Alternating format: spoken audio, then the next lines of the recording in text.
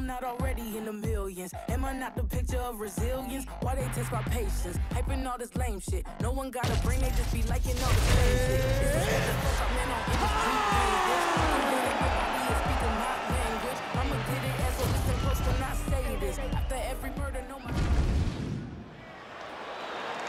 You ready to fight? You ready?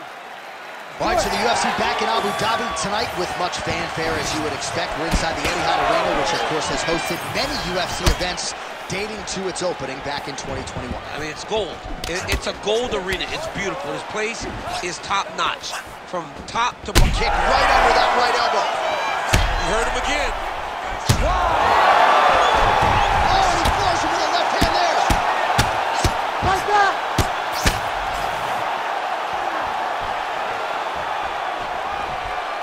DC, half guard position here. You've done a lot of good work in this spot in your career.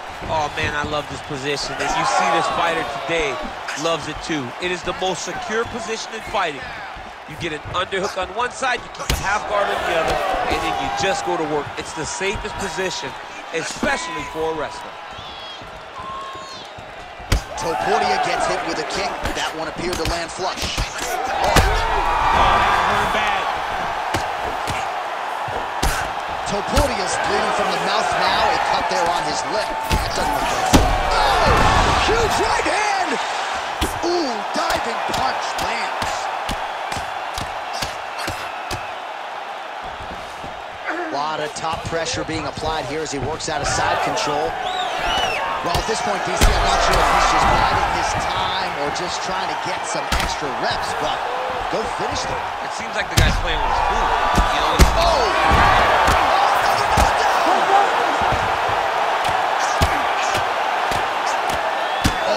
Another heavy shot gets through.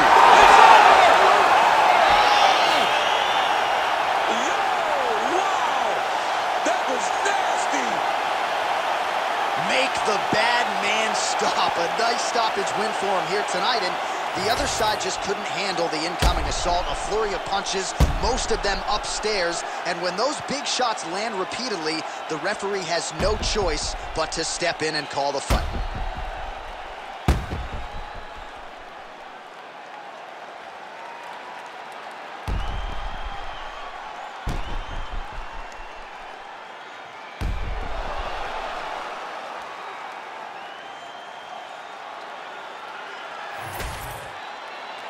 All right, Bruce Buffer is in there with the official decision.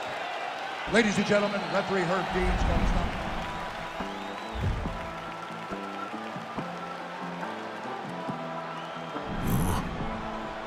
It's crazy.